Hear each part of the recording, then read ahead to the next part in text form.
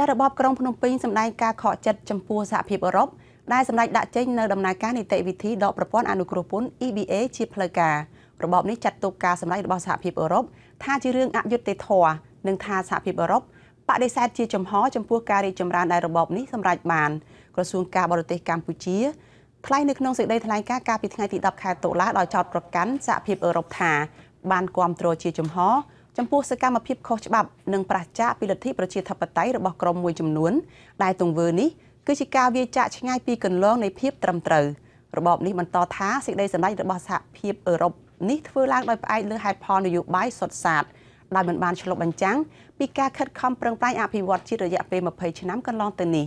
ចារបបក្រុងភ្នំពេញបន្ថែមថាការដាក់ទណ្ឌកម្មរបស់សហភាពអឺរ៉ុបនេះនឹងធ្វើឲ្យរបបនេះកាន់តែមានចិត្តមុតមមថែមទៀតក្នុងការការពារ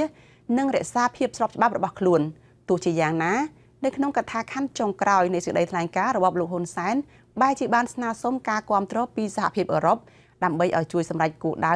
នៃការកសាងរដ្ឋប្រជាធិបតេយ្យមួយដោយគោរពសិទ្ធិពលរដ្ឋតាមគុណតម្លៃនិងប្រពៃណីរបស់កម្ពុជាទៅវិញសេចក្តីថ្លែងការណ៍របស់ក្រសួងការបរទេសនេះគឺហាក់មានភាពផ្ទុយគ្នាទៅនឹងជំហររបស់មេដឹកនាំរបបក្រុងភ្នំពេញ ដែលថ្លែងដោយកំហឹងថា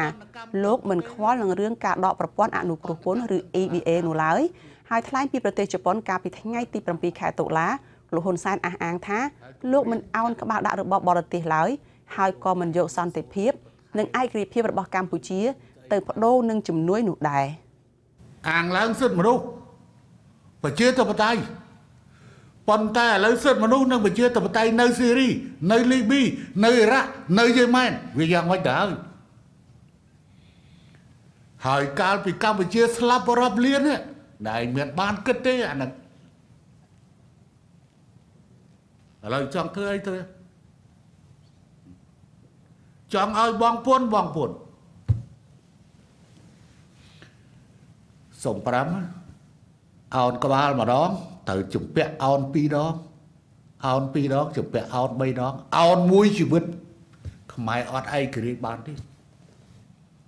ប្រឹងរស់ងើបឈរឡើងដើម្បីការពារឯករាជ្យអធិបតេយ្យរបស់ប្រទេសដើម្បីការពារសន្តិភាពរបស់ប្រទេសចាកាលពីសប្តាហ៍មុនសហភាពអឺរ៉ុបបានជូនដំណឹងផ្លូវការទៅរបបលហ៊ុនសែនអំពីចំណាត់ការឈានទៅរកការលុបចោលប្រព័ន្ធអនុគ្រោះពន្ធ ទំនិញគ្រប់មុខលើកលែងតែគ្រឿងសព្វាវុធឬហៅកាត់ថា EBA នេះសហភាពអឺរ៉ុបបញ្ជាក់ថាចំណាត់ការនេះគឺដោយសារតែពុំមានការកែប្រែស្ថានភាពវិបត្តិប្រជាធិបតេយ្យនិងការរំលោភសិទ្ធិមនុស្សធ្ងន់ធ្ងរនៅកម្ពុជាក្នុងរយៈពេលកន្លងទៅនេះសហភាពអឺរ៉ុបចាត់ទុកពេលសហភាពអឺរ៉ុបបានទុករយៈពេល6ខែឲ្យរបបលោកហ៊ុនសែនស្ដារប្រជាធិបតេយ្យនិងការគោរពសិទ្ធិមនុស្សឡើងវិញហើយបើក្នុងរយៈពេល6ខែនេះរបបក្រុងភ្នំពេញមិនអនុវត្តតាមលក្ខខណ្ឌនេះទេ នោះសហភាពអឺរ៉ុបនឹងលុបចោលប្រព័ន្ធអនុគ្រោះពន្ធនេះថ្នាក់ដឹកនាំសហជីពនិងអ្នកការពារសិទ្ធិកម្មករសុទ្ធតែលើកឡើងពីក្តីព្រួយបារម្ភតាក់ទងនឹងការដកប្រព័ន្ធអនុគ្រោះពន្ធនេះដោយពួកគេលើកឡើងថាចំណាត់ការនេះនឹងធ្វើឲ្យកម្ពុជាខាត់បងប្រយោជន៍យ៉ាងច្រើនលោកហ៊ុនសែនព្រមមានអ្នកវិភាគនៅចំពោះមុខកម្មករនយោជិតនៅស្រុកមុខកំពូលខេត្តកណ្ដាលនៅថ្ងៃទី31ខែតុលានេះថាមិនដឹងការពិតពីជោគជ័យដែលលោកទទួលបានពីការចូលរួមកិច្ចប្រជុំនៅអឺរ៉ុបនាពេលកន្លងមកនេះ។ តែលោកមានដើរគិតថាតើការប្រជុំអាស៊ីអឺរ៉ុបវាធ្លាប់មានកើតនៅកម្ពុជាទេនៅក្នុងប្រវត្តិរបស់កម្ពុជាហើយតើការប្រជុំអាស៊ីអឺរ៉ុបនេះវាជាជោគជ័យការទូតរបស់កម្ពុជាឬយ៉ាងណា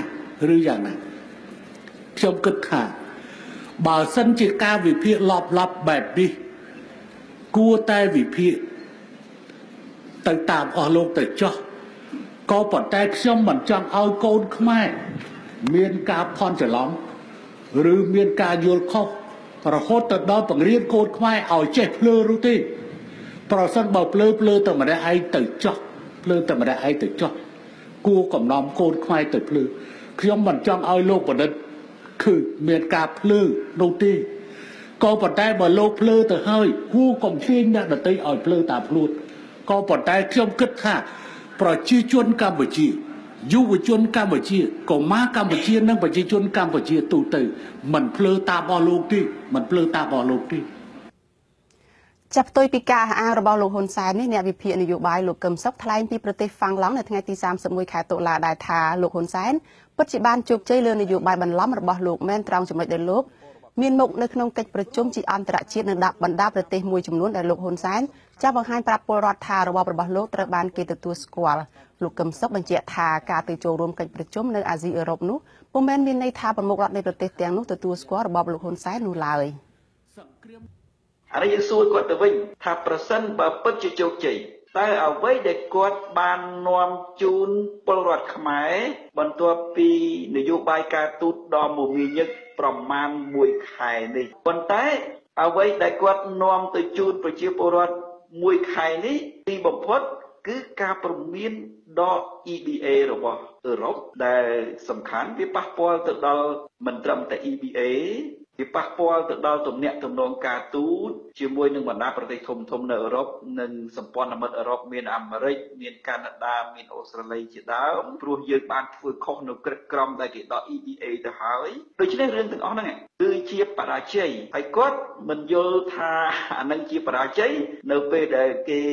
មិនទាន់ដាក់ទណ្ឌកម្មដោយផ្ទាល់គាត់យល់ថាជាជោគជ័យទៅវិញអានឹងវាជាការយល់ច្រឡំក្នុងនាមជាមេដឹកនាំដែលមានការចេះដឹងតិចម្នាក់ ចាលោកហ៊ុនសែននិងមន្ត្រីរបបរបស់លោកជាញឹកញាប់តែងបញ្ចេញប្រតិកម្មទៅលើអ្នកវិភាគនិងអ្នករិះគន់ព្រមទាំងប្រជាពលរដ្ឋរងគ្រោះដីធ្លីនិងសកម្មជនសិទ្ធិមនុស្សដទៃទៀតជាដើមចាលោកនាងជាទីមេត្រីនាយកប្រតិបត្តិនៃសម្ព័ន្ធគណនេយ្យភាពសង្គមកម្ពុជានៅនៅកម្ពុជាចាគឺលោកសនជ័យកំពុងតែមានវត្តមាននៅក្នុងបន្ទប់ផ្សាយរបស់យើងនៅក្នុងយុគនេះចាយើងនឹងមានកិច្ចពិភាក្សាមួយអំពីដំណើររបស់លោកមកកាន់សហរដ្ឋអាមេរិកដើម្បីចូលរួមកិច្ចប្រជុំដែលរៀបចំដោយធនាគារពិភពលោកស្ដីពីបញ្ហាថវិកា ហិរញ្ញវត្ថុសាធារណៈនិងគណនេយ្យភាពសង្គមដើម្បីជួយទៅដល់មនុស្សចានេះខ្ញុំសូមអនុញ្ញាតជំរាបសួរលោកសនជ័យនៅក្នុងបន្ទប់ផ្សាយចាបាទជំរាបសួរចាលោកសនជ័យយ៉ាងម៉េចហើយចាដំណើរមកអាមេរិកលើកនេះជាលើកទីប្រមាណហើយហើយលោកសុខសប្បាយជាទេយ៉ាងនៅពេលនេះបាទខ្ញុំសុខសប្បាយជាធម្មតាទេហើយដំណើរមកអាមេរិកលើកនេះគឺយើងមករយៈពេលប្រជុំ3ថ្ងៃនៅធនាគារពិភពលោកគឺនៅស្នាក់ការកណ្ដាលរបស់ធនាគារនេះតែម្ដងចា មានភាគីណាខ្លះមកចូលរួមតំណាងកម្ពុជានោះចាកិច្ចប្រជុំនៅ ឆ្នាំនេះប្រធានបទគឺបញ្ហាគេនិយាយអំពីបញ្ហាលុយកាក់ money matter តាក់ទងជាមួយនឹង public finance and social accountability for human capital មានន័យថាអឺគេជជែកទៅលើបញ្ហាកៈហិរញ្ញវត្ថុសាធារណៈនិងវិធីសាស្ត្រកណន័យភាពសង្គមដើម្បីជួយទៅដល់មនុស្សជួយទៅដល់មនុស្សមានន័យថា ក្នុងមួយឆ្នាំមួយឆ្នាំរដ្ឋាភិបាលនៃប្រទេសទាំងអស់នៅលើពិភពលោកនឹងតែងតែប្រើប្រាស់ថវិកាទាំងថវិកាបានមកពីការប្រមូលពន្ធបានមកពីការខ្ចីបុលពីប្រទេសអ្នកមាន ដើម្បីយកទៅជួយពលរដ្ឋអញ្ចឹងបានន័យថាបញ្ហានេះគេមើលទៅលើថាតើទស្សនវិជ្ជានៃការប្រើប្រាស់ថវិកាហ្នឹងពិតជាបានទៅជួយដល់មនុស្សមែនដែរឬទេជួយដល់មនុស្សមានន័យថាដូចជាការ កសាងសាលារៀនការផ្ដល់អាហារូបត្ថម្ភដល់សិស្សហើយនឹងការផ្ដល់សេវាផ្សេងផ្សេងដូចជាសេវាសុខាភិបាលអប់រំហើយនិងសេវាសាធារណៈហើយក្នុងនោះដែរក៏មានប្រទេសខ្លះគេមើលទៅលើទស្សនវិជ្ជានៃការផ្ដល់សេវាគាំពារសង្គមទៅដល់ប្រជាពលរដ្ឋណាបាទហើយក្រៅពីនោះក៏ គេគេគិតទៅដល់រឿងការប្រើប្រាស់ថវិកាជាតិសម្រាប់កសាងហេដ្ឋារចនាសម្ព័ន្ធដើម្បីបបផហេតសេដ្ឋកិច្ចសម្រាប់ប្រជាពលរដ្ឋដែរបាទហើយអ្នកចូលរួមមានប្រមាណជា300នាក់មកពីប្រទេសដែលជាសមាជិកនៃគម្រោងមួយគេហៅថា Global Partnership for Social Accountability ហ្នឹងមានប្រទេសអាហ្វ្រិកមានអាស៊ីបូព៌ានិងប៉ាស៊ីហ្វិកហើយនិងអាស៊ីអាគ្នេយ៍យើងបាទចា អញ្ចឹងមានន័យថាភាគច្រើនជាអង្គការសង្គមស៊ីវិលហើយពីខាងកម្ពុជា មានតែ មានតែលោកសនជ័យទេបាទនៅពេលដែលអឺមានអឺវត្តមាននៃសង្គមស៊ីវិលក្នុងនោះក៏មានរដ្ឋាភិបាលនៃបណ្ដាប្រទេសមួយចំនួនដែរដូចជាអឺឃើញតំណាងរដ្ឋាភិបាលមកពីប្រទេសម៉ុងហ្គូលីក៏គាត់អញ្ជើញមកមកចូលរួមដែរ ហើយគេបានគេហៅថាជាវេទិកាមួយដែលមានការជជែកពិភាក្សាគ្នាចែករំលែកបទពិសោធន៍ថាតើរដ្ឋាភិបាលប្រទេសណាគេបើកចំហនៅក្នុងការប្រើប្រាស់ថវិកាហើយដើម្បីឲ្យប្រជាពលរដ្ឋនឹងបានចូលរួមតាំងពីដំណាក់កាលនៃការកសាងផែនការហើយរហូតដល់ទៅការយកលុយកាក់នឹងយកទៅចាយវាយថាតើវាពិតជាការចាយវាយមួយស្របទៅតាមផែនការទៅតាមតម្រូវការអតិភិបរបស់ប្រជាពលរដ្ឋដែរឬទេចា៎ ចំពោះការចូលរួមកិច្ចប្រជុំកន្លងមកហ្នឹងតើបានរៀនសូត្រអ្វីខ្លះហើយហើយឆ្លុះបញ្ចាំងយ៉ាងម៉េចចំពោះបរិបទនៅកម្ពុជាយើងចា៎អឺសម្រាប់កម្ពុជាយើងអឺហាក់មើលឃើញអំពីសង្គមស៊ីវិលរបស់យើងធ្វើកិច្ចការបានច្រើនអឺធ្វើការបានច្រើនមានន័យថាយើងមានក្រុមការងារយើងមានសង្គមស៊ីវិលដែលមានវិជ្ជាជីវៈយើងមានក្រមប្រជាពលរដ្ឋដែលបានចងក្រង ដើម្បីចូលរួមនៅក្នុងការពិនិត្យមើលទៅលើដំណើរការនៃការថវិកាអញ្ចឹងសម្រាប់កម្ពុជាយើងហាក់បីដូចជាមានទស្សនវិជ្ជាមួយគេហៅថាការវិវត្តច្រើននៃនៃតួអង្គអ្នកខ្លំមើលហើយបណ្ដាប្រទេសមួយចំនួនក៏ក៏មានដែរប៉ុន្តែគេហៅថាប្រទេសខ្លះគេទៅតែមានការចាប់ផ្ដើមការចាប់ផ្ដើមជារបស់ក្រុមអ្នកខ្លំមើលហ្នឹងបាទហើយយើងដូចជា សង្គមស៊ីវិលដែលធ្វើការផ្នែកកណន័យភាពសង្គមនោះរហូតដល់ពេលនេះយើងមានយន្តការសាធារណៈដូចជាក្របខ័ណ្ឌកណន័យភាពសង្គមដែលចាប់ផ្ដើមអនុវត្តតាំងពីឆ្នាំ2016មកហើយដែលសាក់លបងធ្វើនៅក្នុងកម្រិតមូលដ្ឋាន មានសាលាបឋមសិក្សាមានមណ្ឌលសុខភាពហើយនិងសេវាឃុំហើយក្រៅពីនោះក៏មាន ការបដិបផ្ដើមទៅលើគំនិតអឺឯករាជ្យគេហៅថាជា ឧបករណ៍កណនីភាពសង្គមបែបឯករាជ្យមួយចំនួនដែលបានអនុវត្តនៅក្នុងប្រទេសកម្ពុជាបានន័យថាវាមិនស្ថិតនៅក្នុងក្របខ័ណ្ឌសាធារណៈទេប៉ុន្តែវាស្ថិតនៅក្នុងជាកំណត់ដូចផ្ដើមរបស់អង្គការសង្គមស៊ីវិលដែលយើងមើលទៅលើទស្សនវិជ្ជាដូចជាសេវាសាធារណៈទស្សនវិជ្ជាទៅលើការផ្ដល់សេវាមួយចំនួនការចែកចាយសម្ភារៈសាធារណៈ ហើយនឹងការគាំពៀសង្គម social protection អញ្ចឹង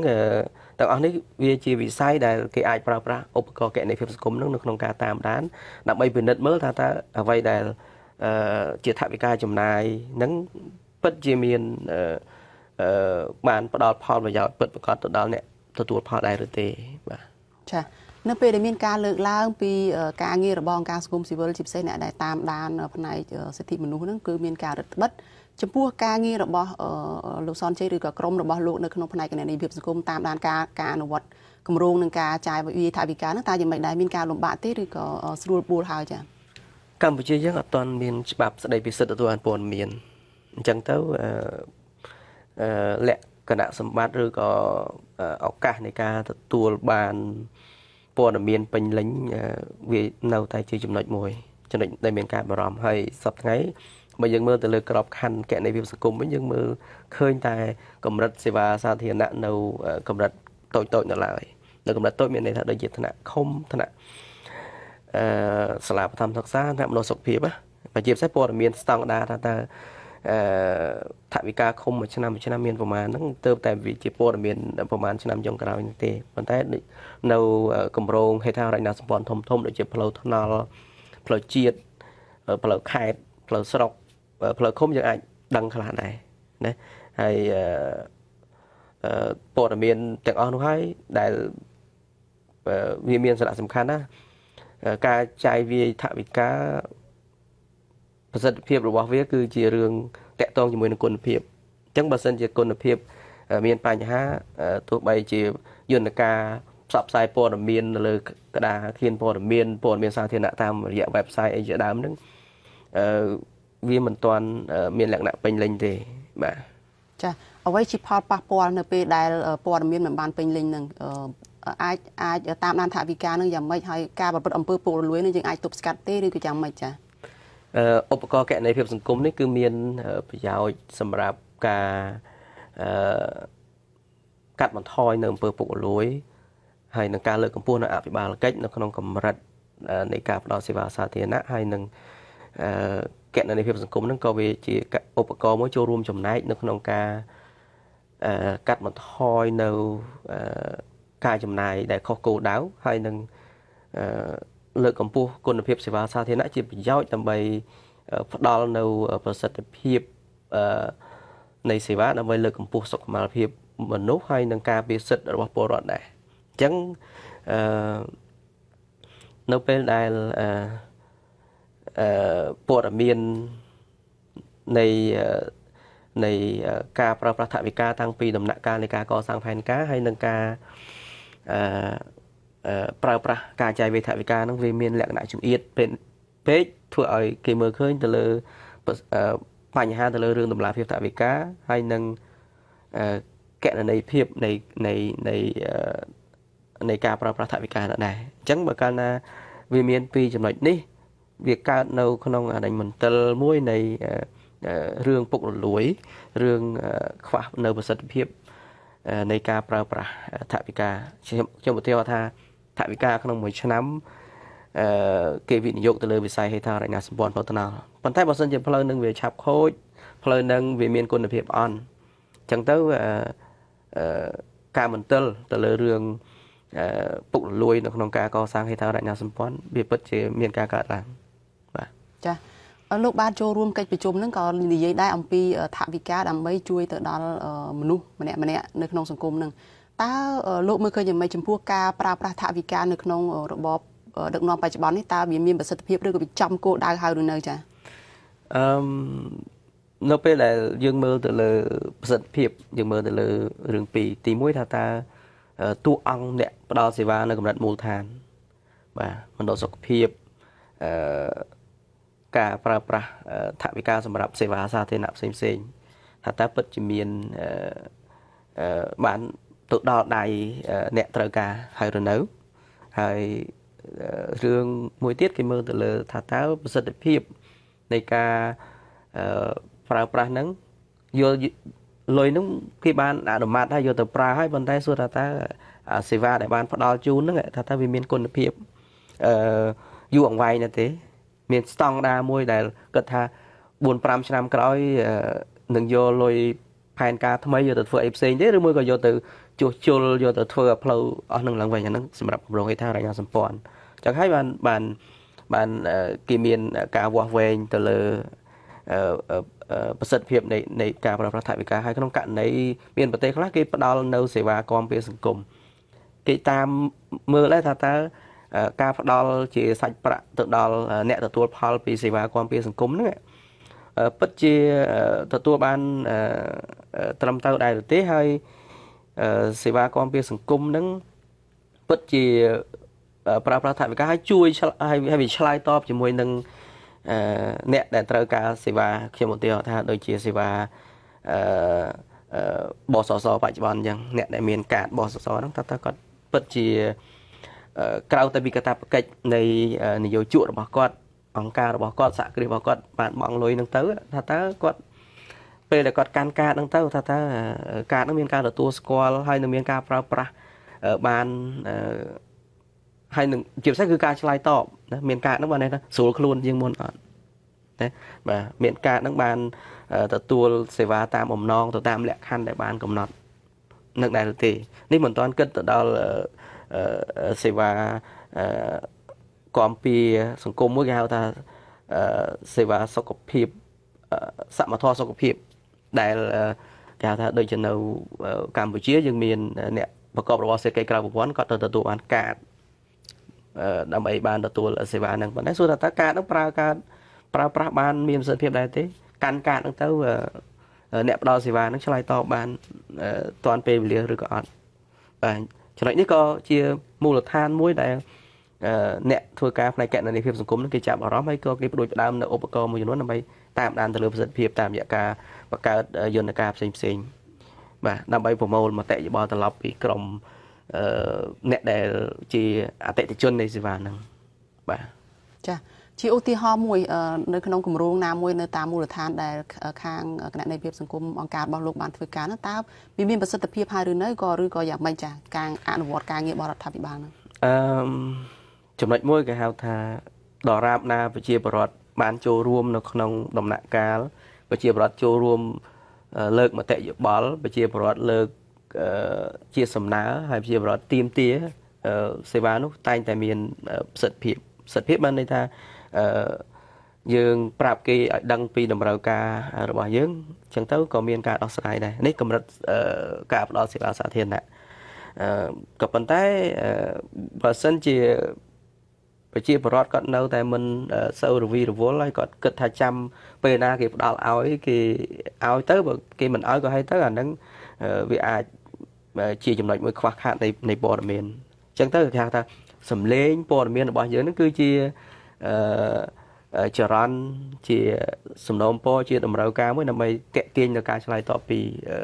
រដ្ឋាភិបាលពីអ្នកផ្ដល់សេវាជាក់លាក់នៅតាមមូលដ្ឋានក្តីនៅនៅក្នុងកម្រិតណាមួយនៃនៃរដ្ឋបាលក្នុងការផ្ដល់សេវានឹងដែរចា ចំពោះប្រជាពលរដ្ឋតើគាត់យល់ដឹងពីបញ្ហាដែលដែលគាត់ត្រូវតាមដានត្រូវចូលរួមហើយឬនៅឬក៏យើងត្រូវការធ្វើការជាមួយគាត់បន្តទៀតរឿងហ្នឹងអឺតួអង្គ3សំខាន់សំខាន់ដែលចូលរួមនៅក្នុងដំណើរការនៃការអនុវត្តកណីភាពសង្គមទី1យុវជនណាយុវជនថាតើយុវជនគាត់ទទួលបានផលអីខ្លះពីកម្មវិធីនយោបាយរបស់រដ្ឋាភិបាលអញ្ចឹងបើសិនជាមានគោលនយោបាយហើយហើយមិនទាន់មានការឆ្លើយតបអឺ ពេលនោះយុវជនអាចទៀមទាទី2គឺក្រមអ្នកទទួលផលផ្សេងផ្សេងទៀតដូចជាក្រមកុមារណាបាទគាត់ក៏អាចមើលមើលគាត់អាចមានសិទ្ធិតាមរយៈអង្គការសមាគមតាមរយៈសហគមន៍របស់គាត់ដែលមានមនុស្សចាស់ជាអ្នកដឹកនាំសម្របសម្រួលហ្នឹងគាត់អាចប្រើប្រាស់យន្តការហ្នឹងដើម្បីទៀមទាហើយទី3គឺក្រមងាយរងគ្រោះនៅតាមសហគមន៍មានក្រមប្រជាពលរដ្ឋក្រមស្ត្រី ក៏ប៉ុន្តែអ្វីដែលជាឧបសគ្គសពថ្ងៃគឺនៅតំបន់មួយចំនួនដែលយើងធ្វើការយុវជនក្រមយុវជនក្តីក្រមប្រជាពលរដ្ឋជាស្ត្រីជនជាដើមភាគតិចក្តីនៅភូមិភាគឦសានហ្នឹងគឺគាត់ពុំសូវមាន voice មានពុំសូវមានសម្លេងនឹងប្រមាណនេះដោយសារតែមូលដ្ឋាននៃចំណេះដឹងហើយនឹងគេហៅថារបៀបដែលគាត់ចូលរួមនៅក្នុងអភិបាលកិច្ចមូលដ្ឋានណាអញ្ចឹងនៅពេលដែល ការចូលរួមការងារអភិបាលកិច្ចនៅមូលដ្ឋានហ្នឹងមានចំណុចខ្វះខាតពេលហ្នឹងហើយគេហៅថាការឆ្លើយតបក៏អាចថាមានជួបប្រទះនៅការខ្វះខាតអាចថានឹងមិនមានការឆ្លើយតបលឿនទាន់ពេលវេលាដែរចាតើដោះស្រាយយ៉ាងម៉េចចាសូមខ្លីៗជាដំណោះស្រាយគឺទូអង្គសង្គមស៊ីវិលដែលធ្វើការហ្នឹងគាត់អាចប្រើប្រាស់ទិន្នន័យព័ត៌មានដែលគាត់មានពីក្រមអ្នកទទួលផលពីសេវាសាធារណៈហ្នឹងមកដើម្បី ឲ្យមានភាពជាតំណាងមួយហើយដើម្បីយកសម្លេងឬតម្រូវការហ្នឹងដើម្បីជូនទៅរដ្ឋាភិបាលទាំងនៅរដ្ឋបាលថ្នាក់ក្រោមជាតិហើយនិងថ្នាក់ជាតិអញ្ចឹងយើងនាំគ្នានិយាយអំពីតម្រូវការដើម្បីឲ្យមានការប្រែប្រួលដើម្បីឲ្យមានដំណោះស្រាយតាមរយៈគោលនយោបាយនិងការផ្ដល់ជូនជាពិសេសឬក៏ការផ្ដល់ជូនជាក់លាក់ណាមួយទៅដល់ករណីជាក់លាក់ឬក៏ករណីដែលច្បាស់ច្បាស់ដែលគេហៅថាមាន ប្រភពច្បាស់លាស់ហ្នឹងចាសូមអរគុណច្រើនលោកសនជ័យដែលបានចូលរួមការសម្ភាសន៍នេះហើយសូមអរគុណនិងសូមជម្រាបលាលោកត្រឹមតែប៉ុណ្ណេះហើយជូនពរលោកធ្វើដំណើរទៅវិញដោយសុវត្ថិភាពចាបាទអរគុណបាទលោកនៅនឹងជាទីមេត្រីជាបន្តទៅទៀតនេះខ្ញុំបាទនឹងមានបទសម្ភាសន៍ផ្ទាល់មួយតាមប្រព័ន្ធវីដេអូ Skype ជាមួយនឹងលោកអាត់ធុនប្រធានសហព័ន្ធ សំទោសប្រធានសម្ព័ន្ធសហជីពប្រជាធិបតេយ្យកម្មករកាត់ដេរជុំវិញការបន្ទន់អេរីយ៉ាបតរបស់លោកហ៊ុនសែននេះបាទខ្ញុំបាទសូមជម្រាបសួរលោកអាត់ធុនបាទបាទសូមជម្រាបសួរបាទ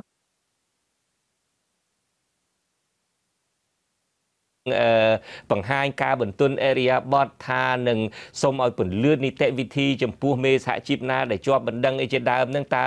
លោកអាត់ធុនមានប្រតិកម្មបែបណាដែរបាទ បាទខ្ញុំក៏បានទទួលនៅការលើកឡើងរបស់សម្ដេចនាយករដ្ឋមន្ត្រីដែរគឺគាត់បានស្នើឲ្យរដ្ឋមន្ត្រីក្រសួងការងារក៏ដូចជារដ្ឋមន្ត្រីក្រសួងយុទ្ធភ័ពត្រូវពិនិត្យមើលទស្សនវិជ្ជាក្នុងការដោះស្រាយបញ្ហារឿងរបស់សហជីពកន្លងមកដែលជាប់បណ្ដឹងដែលយើងគិតថាជាប់រយៈពេល4-5ឆ្នាំចុងក្រោយនេះគឺជាបណ្ដឹងមួយច្រើនសម្រាប់សហជីពហើយ យើងសាបតមែនទែនចំពោះការចំណាត់ការរបស់សម្ដេចនាយករដ្ឋមន្ត្រីព្រោះកន្លងមកគឺយើងធ្វើការនៅក្នុងសម្ពាធដែលបណ្ដឹងវ៉ាន់កហើយទំបីតែតឡាការបានដាក់បញ្ជាឲ្យយើងទៅធ្វើការបង្ហាញខ្លួនឬក៏បិទសិទ្ធិសេរីភាពរបស់យើងមួយចំនួនជាពិសេសគឺនៅក្នុងការជួបប្រជុំជាសាធារណៈនេះបាទ បាទសារបន្ទន់អេរីយ៉ាបតរបស់លោកនាយករដ្ឋមន្ត្រីហ៊ុនសែនថ្ងៃនេះនឹងជារឿងមួយក៏ប៉ុន្តែមានរឿងមួយទៀតដែលច្បាប់សហជីពទាំងអស់គ្នាសង្គមស៊ីវិលនឹងគឺថានាំគ្នារិះគន់សម្បើមណាស់សាររបស់គាត់ផ្សេងហើយដល់ពេលច្បាប់ផ្សឹងនឹងតើតើលោកអាត់ធុនមានយោបល់បែបណាដែរនឹងចាប់ផ្ដើមងាកមកវិញដើម្បីឲ្យមានការសើរើធ្វើវិសោធនកម្មលើច្បាប់សហជីពនឹងដែរទេ ខ្ញុំគិតថាការដែលដកពាក្យបណ្ដឹងឬក៏ដោះស្រាយពាក្យបណ្ដឹងវាជាដំណាក់កាលទី1ហើយដំណាក់កាលបន្ទាប់នេះខ្ញុំគិតថាច្បាប់សហជីពក៏គួរតែត្រូវធ្វើវិសោធនកម្មជាពិសេសគឺដូចជាមាត្រា10មាត្រា12មាត្រា13 14មាត្រា17មាត្រា54មាត្រា80ពាក់ព័ន្ធទៅនឹង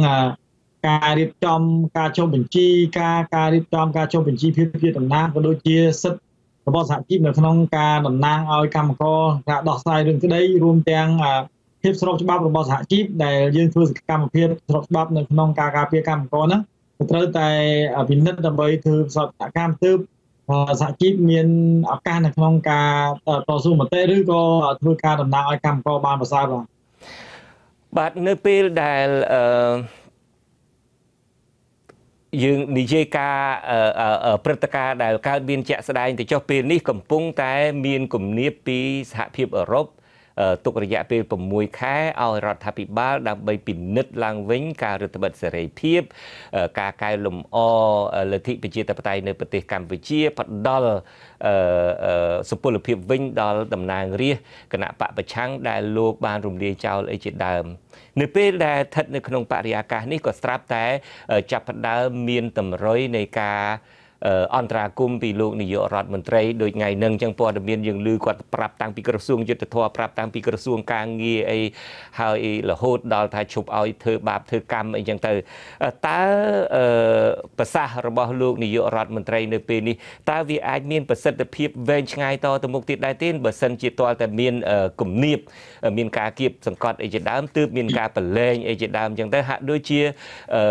ភាសានេះធ្វើឲ្យខ្ញុំនឹកឃើញដល់ភាសាមួយដែលលោកនាយករដ្ឋមន្ត្រីស្អប់ជាទីបំផុតរបស់លោកកឹមសុខនឹងគឺថានីតិមាត់នោះអឺតើវាវាវាធ្វើយ៉ាងណាទៅដើម្បីឲ្យអស្ថានភាពនឹងវាធូរស្រាលមាននិរន្តរភាពតទៅជៀសវាងកុំឲ្យតែមានគំនាបមកស្រាប់តែលោកនាយករដ្ឋមន្ត្រីប្រើនីតិមាត់របស់លោកមកក៏ឃើញធូរស្រាលតាមនឹងទៅលោកអាធុនតើធ្វើយ៉ាងណាដើម្បីឲ្យវាវាមានជានិរន្តរទៅទៅវិញខ្ញុំសូមបញ្ជាក់ថា បន្ទាប់ពីស្ថានភាពលំបាករយៈពេលជាង2ឆ្នាំដែលសហជីពយើងពិបាកធ្វើការហើយថ្ងៃនេះគឺជាពេលវេលាមួយដែលយើងឃើញថាវាមានការប្រែប្រួលជាទ្រង់ទ្រាយធំហើយដូចខ្ញុំបានលើកឡើងថាការប្រែប្រួលនេះគឺយើងអត់ទាន់បានទទួលនៅការដកបណ្ដឹងឬក៏ដោះបណ្ដឹងផ្លូវការទេមានន័យថាចាប់ចាំមើលចាប់ពីថ្ងៃស្អែករហូតដល់រយៈពេល1ខែឬក៏2ខែតើសំណុំរឿង តែពាក់ព័ន្ធនឹងការចោទប្រកាន់ទៅលើសហមសហជីពជាពិសេសដូចជាខ្ញុំផ្ទាល់គឺមានដល់ទៅ7ករណីហើយសហជីពនិងសមាជិករបស់ខ្ញុំរួមទាំងបុគ្គលិកហ្នឹងគឺមានរហូតទៅដល់ជាង40ករណីនៅក្នុងនោះគឺរឿងព្រមតាន់ប្រហែលជារឿងជាង37ករណីនោះដែលមនុស្សពាក់ព័ន្ធច្រើនអញ្ចឹងខ្ញុំគិតថាយើងចាំមើលតាមលទ្ធភាពជាក់ស្ដែងមើលហើយ បើសិនជារឿងនឹងត្រូវបានដោះស្រាយមែនបន្ទាប់មកគឺមានការកែប្រែឬក៏ធ្វើវិសោធនកម្មច្បាប់អឺមួយចំនួនដែលពាក់ព័ន្ធនឹងការរឹតបន្តឹងហើយក៏ដូចជាអនុវត្តច្បាប់នឹងស្មារតីគ្នាក្នុងចំណោមសហជីពទោះបីជានិន្នាការឯករាជ្យនិន្នាការខាងណាក៏ដោយឲ្យស្មារតីគ្នាហើយបន្ទាប់ពីហ្នឹងគឺ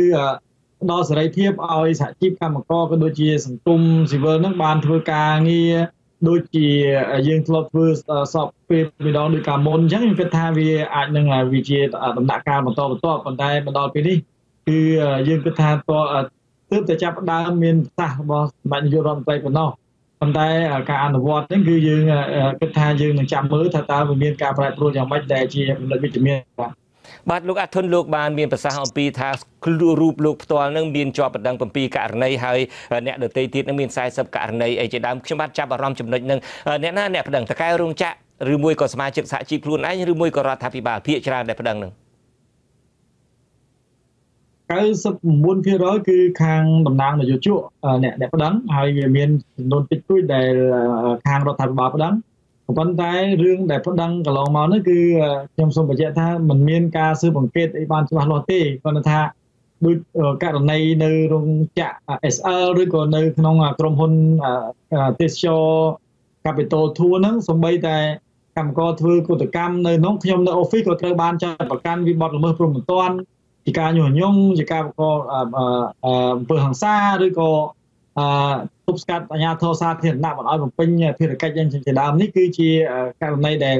ខ្ញុំធ្លាប់ជួបប្រទេសផ្ទាល់ហើយ7ករណីសិតតែជារឿងព្រមមិនទាន់ដែលខ្ញុំបានលើកឡើងហ្នឹងហើយខ្ញុំគិតថារឿងដែលពាក់ព័ន្ធ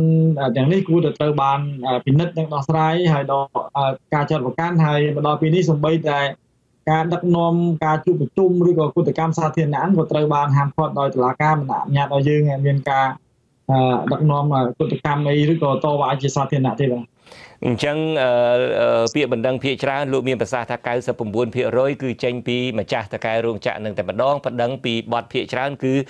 ញុះញង់កម្មករឲ្យធ្វើបាតកម្មកោតកម្មអីជាដើមតើកន្លងមកនឹងមានការកាត់ទោសអ្នកណាខ្លះហើយទេដែលមិនព្រមតែជាប់ពាក្យបណ្ដឹងទេកាត់ទោសឲ្យជាប់ពន្ធនាគារឬមួយឲ្យមានលក្ខខណ្ឌអីបែបណាដែរទេចំពោះពួកប្តឹងផ្ដាល់ទាំងអស់នឹងបាទ បាទខ្ញុំរាប់តែតំណាងសហជីពសហព័ន្ធរបស់ខាងខ្ញុំគឺយើងមានជាប់ជាប់បណ្ដឹងឬក៏ជាប់ពន្ធនាគារហ្នឹងរហូតដល់ទៅ19នាក់ក្នុងរយៈពេលអ្នកខ្លះគឺ6ខែអ្នកខ្លះ1ខែអ្នកខ្លះ2ថ្ងៃអ្នកខ្លះក៏1ថ្ងៃហើយអ្នកដែលមិននៅក្នុងជុំវិញពាក្យបណ្ដឹងពេលបច្ចុប្បន្នហ្នឹងមានទៅដល់56នាក់ហើយសំណុំរឿង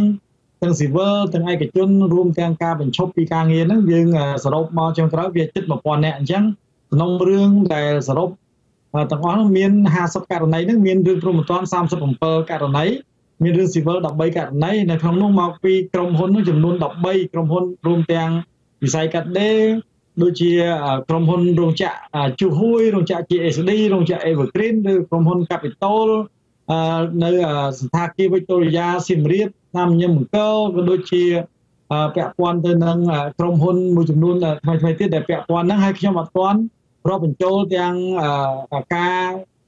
ធ្វើកុតកម្មឬក៏ការតវ៉ានៅផ្លូវវែងស្រេងទេបាទបាទ អរគុណអឺបើសិនជាមានការលើកលែងការចោតប្រកាន់ទាត់លើកលែងការចោតប្រកាន់ទាំងអស់នឹងទៅវិញហើយបើសិនជាមានភ្ជាប់ជាមួយនឹងលក្ខខណ្ឌថាលើកលែងការចោតប្រកាន់ក៏ប៉ុន្តែពីថ្ងៃនេះតទៅឈប់ញុះញង់ទៀតអីជាដើមតើលោកអាធុននឹងដោះស្រាយបែបណាដែរខ្ញុំគិតថាការលើកលែងការចោតប្រកាន់ឬក៏លើកលែងការដោះដោះស្រាយបញ្ហាផ្សេងៗនេះ វាជាវិធីមួយដែលជាដំណាក់កាលមួយល្អសម្រាប់យើងដែលយើងគិតថាយើងចង់ឃើញយុត្តិធម៌ព្រោះយើងអាចបានប្រព្រឹត្តហើយបើសិនជាដកហើយបន្ទាប់មកมันអនុញ្ញាតការធ្វើការតវ៉ាឬក៏អត់ឲ្យធ្វើអីទៀតមានន័យថាយើងមិនអាចអនុវត្តទៅតាមច្បាប់ឬក៏វាអត់មានអីដែលជាប្រសើរទេអ្វីដែលយើងគិតនៅពេលដែលដកហើយ គឺរដ្ឋាភិបាលគឺរៀបចំកែប្រែច្បាប់មួយចំនួនដែលដែលវាជាឧបសគ្គហ្នឹងអាចពិនិត្យធ្វើកែតម្រង់ឬក៏ដោះស្រាយហើយដល់សិទ្ធិសេរីភាពឲ្យខាងសហជីពហ្នឹងបានធ្វើការធម្មតាវិញដូចជាយើងអាចតំណាងឲ្យកម្មករក្នុងការដោះស្រាយបណ្ដឹងទៅអាជ្ញាកណ្ដាលឬក៏ដោះស្រាយបញ្ហាផ្សេងផ្សេងអំពីការរំលោភពីសំណាក់នយោជកឬក៏មន្ត្រីពាក់ព័ន្ធអីផ្សេងហើយខ្ញុំគិតថាទើបវាមានយុត្តិធម៌ហើយបើបើសិនជាដោះស្រាយហើយហើយមិនអនុញ្ញាត ឲ្យធ្វើអីផ្សេងផ្សេងទៀតខ្ញុំគិតថាហ្នឹងវាអត់ទាន់ធ្វើជាមិនបានយុត្តិធម៌ទេបាទបាទបាទខ្ញុំបាទសូមអរគុណលោកអាធុនដែលបានចូលរួមផ្ដល់បទសម្ភាសន៍ដល់ទូរទស្សន៍អាស៊ីសេរីនារីត្រីនេះបាទខ្ញុំបាទសូមអរគុណនិងសូមជម្រាបលាហើយសង្ឃឹមថាលោកការបទចោតប្រកាន់ទាំងប្រមាណទៅលើលោកហើយនឹងសមាជិករបស់លោកនឹងនឹងបានត្រូវគេទម្លាក់ចោលក្នុងពេលឆាប់ៗនេះបាទសូមអរគុណបាទបាទសូមអរគុណសូមជម្រាបលាបាទបាទ